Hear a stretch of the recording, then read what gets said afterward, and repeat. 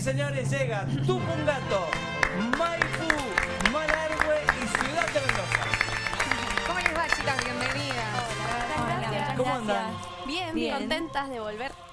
Ay, qué lindo. Bueno, Maipú la estamos conociendo hoy. Sí, sí, bien reciente del sábado. Sábado. Después, después mañana la vamos a tener Sí. a ella solita, como Sí, tuvimos a sí, todas, para que tenga su momento especial. ¿Vieron lo que dije yo en el bloque anterior de las caras? Sí. ¿Se dan cuenta? Están felices las chicas. Están felices, Sí. se nota. Obvio. todas contentas. Eh, y eso que están cansadas ya. Sí. Porque vienen, ¿no? En los Sí. pocos días desde la convivencia vienen corriendo. Sí, Sí. pero como vamos con, con muchas actividades, se va disfrutando. Olvídate, no. Se va disfrutando. Aparte, te olvidas de dormir. La verdad que el sueño. No, no Aparte, estaba. viste, como todo, Sí. cuando uno disfruta tanto algo, pasa tan rápido, cuando pasa es...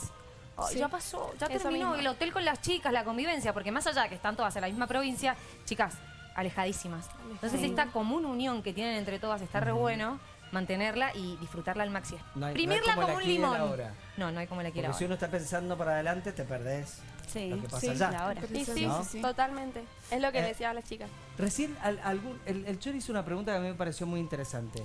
Si eligieran un departamento para vivir que no sea el de ustedes, ¿a dónde vivirían? San Rafael. Ah, mira. Ya van dos, ¿eh? Mm, Ciudad de Mendoza. Ah, ahí estamos. Está vecina casi. Claro, Muy cerquita. Muy cerca. ¿Malargüe? en ninguna. Amo mi departamento. Ah, se, que- se quedaron en ella. responde- Está bien, está bien. Yo siempre digo el del cielo más bonito. Exacto. ¿Ciudad? San Carlos. San Ajá. Carlos. ¿Por qué? Tengo familia y bueno, me siento también identificada ahí con el Badeuco. Me gusta. Me encanta, me encanta eso. Ustedes saben que muchas dicen, ella me habló tanto de su departamento, dijo Claro, alguien la de grupo Junín. anterior. A la de Junín. Claro, me habló tanto del departamento que al final, porque son promotoras de su departamento, sin ningún lugar a dudas, y tanto venderlo por ahí, otra dice, che, mira qué lindo departamento a tiene. Ajá. Sí. ¿No? Sí, sí, ya hasta organizamos ir a visitar a San Rafael para el cumpleaños de una de las chicas. Vamos a ir todas a visitarla. Ay, ¿de quién? De, De la Sol. de San Rafael. Ay, ¿cuándo es el cumpleaños? El 8, El 8 de de marzo. ¿Vos tenés que hacer algo Ah, ese ¿ya? día?